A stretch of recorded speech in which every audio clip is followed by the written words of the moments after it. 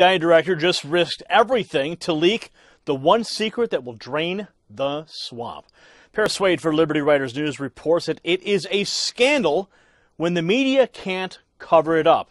It's an even bigger scandal when Obama's CIA director says that the Intel Committee needs to look into the Clinton dossier payments.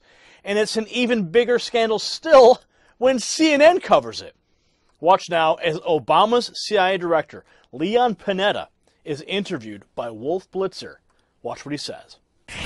So it's very awkward. How could both the chair of the DNC and the Clinton campaign not know about these payments?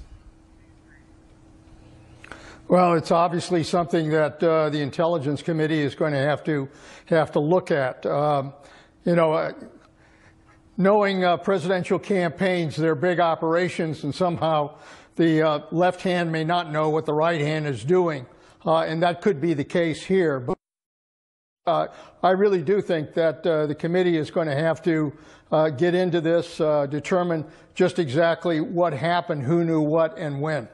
But if the lawyer who uh, was representing the Democratic National Committee and the Clinton campaign, Marc Elias, is sitting next to John Podesta. He was asked, Do you know about the funding? He says no. Wouldn't it be his responsibility at least whisper in his ear, Yes, yes, you, and tell him what was going on? So if he, if he wasn't lying, John Podesta, he would, ex- he would be able to clarify all of that before, before the committee in a sensitive issue like this?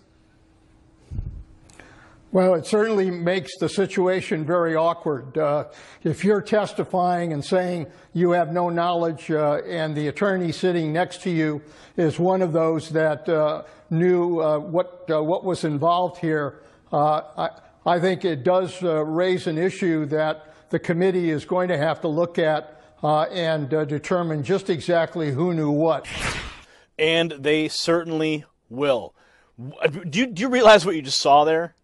Okay, this is like this is like an unprecedented moment. First of all, CNN is reporting these facts. And now you have a former member of the Obama administration, Leon Panetta, the former CIA director, coming out and saying there needs to be an investigation. Hillary is in such deep doo doo that she is, I mean, hey, I just, I just can't believe what I'm watching here. I can't believe what I'm reporting. This is a great day in America. Three committees are now investigating these things. So this is the string that is going to pull at the sweater of lies that Hillary has built around Washington. And it's becoming increasingly apparent that Hillary paid for the intelligence on Donald Trump, the Russian intelligence. This needs to get out right now. This is a huge scandal. The Democrats are now dumping Hillary. CNN, Panetta, everybody is throwing her under the bus. Unprecedented, friends. Share this out and help bring down Hillary Clinton right now. The president wants to see this completed. There's still no evidence of collusion between the president and anyone. If any collusion took place, it would be between the DNC and the Clintons. And I think we're starting to now see that all of the things that the, the Democrats had accused this president of doing, they were actually guilty of themselves. It's a completely political undertaking designed to get people to talk about the only thing that unifies the Republican Party today, which is hating Hillary Clinton. Well, the president, the administration making the case uh, that the Russia investigation really should be about collusion with Hillary Clinton and the Clinton administration, the Clinton campaign, I should say. Uh, the president tweeting, it is now commonly agreed after many months of costly looking that there is was no collusion between Russia and Trump, was collusion with Hillary Clinton. One of those investigations is the Uranium One investigation where that FBI informant, uh, the gag order was just lifted. And I asked the Attorney General about that and how it came to be. John Roberts has sources saying the president was involved in the discussion and pushed for that decision. Is that true? Well, I haven't talked to him about that. What I would say is Senator Grassley has been direct with us for some time. We worked with Senator Grassley and are very happy to be able to approve uh, his uh, testimony before the Senate Judiciary Committee. But did Don McGahn, White House counsel, or his deputies call you or your people to say the president really wants this to happen? I have not talked to him about about that, uh, but uh, I think it's a good thing that it's worked out, and I'm very pleased about it. So let's bring in our panel from the Washington Bureau. Charles Hurt, opinion editor for the Washington Times. Julie Pace, Washington Bureau chief for the Associated Press. And Eli Lake, columnist for Bloomberg View. Okay, uh, Julie, you heard the Attorney General there on that one piece of the investigation. Your thoughts? Well, it's not surprising that the president would want this informant to be freed from a gag order, but it certainly raises questions anytime the president is getting involved with Justice Department business. I think that's why you saw Sessions trying to sidestep that question there. I mean, broadly, if you look at this week, this is a week where the Trump White House feels like they finally are able to go on the offense on the Russia investigations. They feel like this revelation that Democrats, the Clinton campaign, and the DNC were involved in funding a, a, section of this dossier after a Republican had started this off puts them on stronger footing. I do think it's really important, though, for people to remember that the reason the Russian investigations exist in the first place isn't because there was a dossier that was funded by opponents of Donald Trump. It, it exists because there was Russian interference in the election. And the special counsel investigation is, is there in part because of what we saw transpire around the, the Comey firing and the fact that you had to have Jeff Sessions recuse himself so the dossier is important in the sense that it, it got a lot of attention, and it's something that the, the FBI felt strongly enough about to bring to Donald Trump and to Barack Obama. But it's not the reason that the Russia investigations well, exist. Yeah, Charlie, uh, the, the one thing we don't know, and I asked the Attorney General and he wouldn't go down this road, is whether the dossier was used for the FISA court or for the, the, the surveillance on the Trump campaign. And that's a, an absolute crucial question.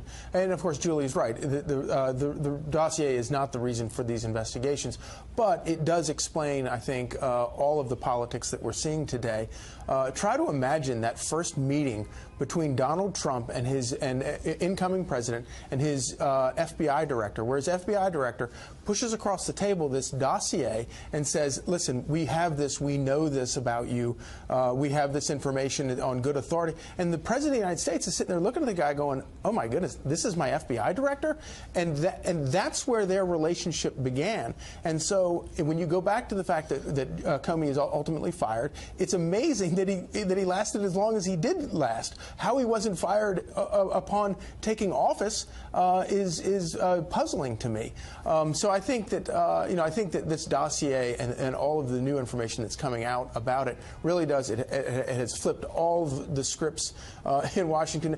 everything that the Democrats are saying yeah. now, they were, Republicans were saying last week, and vice versa.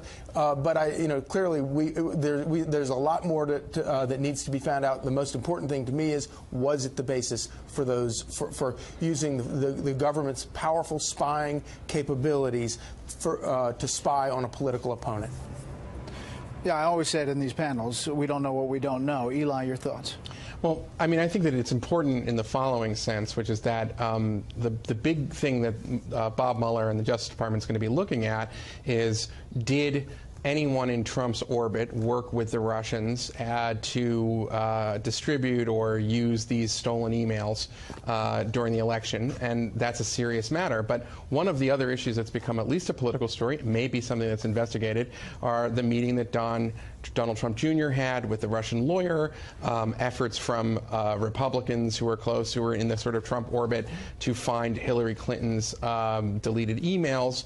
Well, listen, it's a very simple question if it's not okay for them to do it, then why is it okay for Democrats to work with a former British spy to then pay for information from senior Russian officials that's damaging for Trump? I mean, uh, one is reminded of that old expression about geese and ganders.